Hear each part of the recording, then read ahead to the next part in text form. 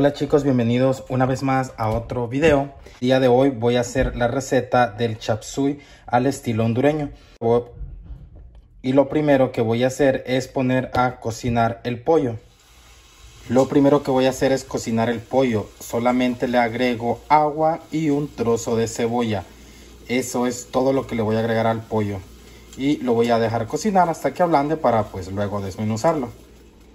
Aquí tengo zanahorias y pataste o como lo conocen en otros lugares como chayote. Entonces ya los tengo pelados y lo que voy a hacer es cortarlo en tiras largas y delgadas. Esto todo depende como usted lo quiera. Si usted lo quiere un poquito más grueso, pues lo hace a su gusto. Yo voy a estar utilizando cuatro zanahorias y solamente dos patastes. Bueno, como pueden observar, así me quedó mi zanahoria y el pataste en tiras delgaditas. Y ahora los voy a llevar a la estufa a cocinar aproximadamente por unos 10 minutos.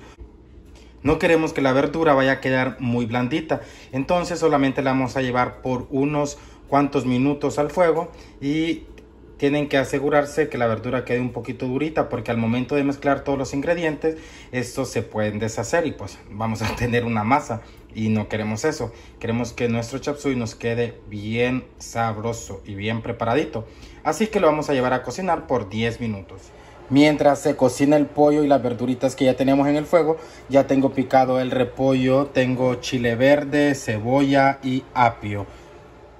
También voy a estar utilizando boloni o mortadela como le llamamos en Honduras para agregarle a mi chapsui. Como pueden observar las verduras las acabo de bajar y conmigo solamente necesité 6 minutos y ya están listas para que y me quedaron duritas para que al momento de mezclar todos los ingredientes no se vayan a deshacer como les dije anteriormente. Lo que vamos a hacer yo tengo un colador aquí abajo tengo otra pailita o recipiente como le llamen y no vamos a tirar esta agua porque con esta agua vamos a poner a ablandar los tallarines. Así que vamos a pasar las verduras al colador.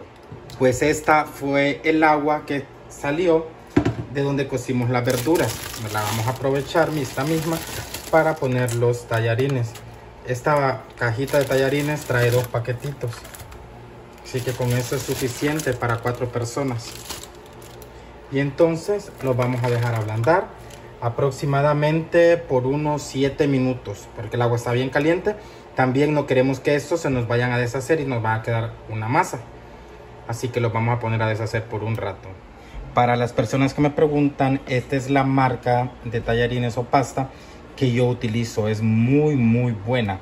Adentro trae otros ingredientes, pero eso yo no los necesito ni los uso porque yo le pongo los ingredientes a mi gusto, que más adelantito se les voy a mostrar. Como pueden observar, ya mis tallarines ya están listos. Los voy a dejar así. Están un poquitito duritos todavía, pero este es el punto que los quiero para que no me vayan a quedar aguados o no se van a hacer una masa. Así que ahora vamos a escurrir. Vamos a escurrir. Y lo vamos a dejar en este trastecito para que escurra toda el agua que les quedó. Y ya tenemos los tallarines listos. Ya solo estamos esperando que esté el pollo para desmenuzar y preparar. Como pueden observar, el pollo ya está listo. Voy a esperar que se enfríe para desmenuzarlo. Y otra recomendación, no olviden tirar el agüita donde cocimos el pollo porque es el agua que le vamos a poner a nuestro chapsui.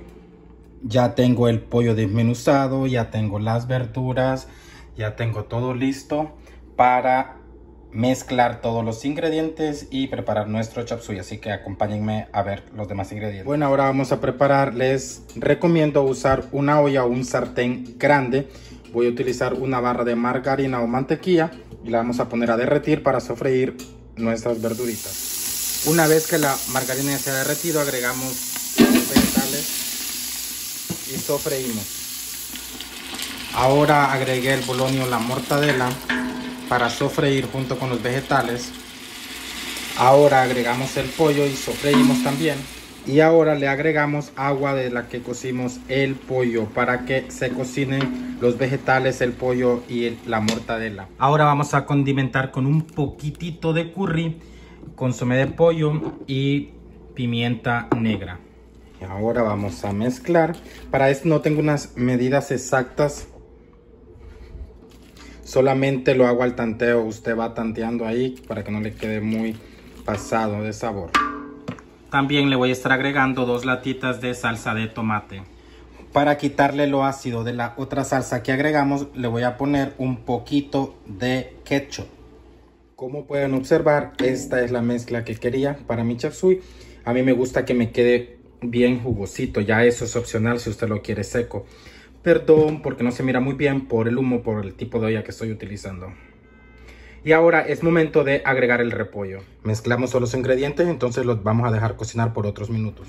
En este punto que las verduritas y todos los otros ingredientes están cocinando, es muy importante que revisemos si está bueno el sabor, porque este es el punto que se le debe agregar lo que le haga falta.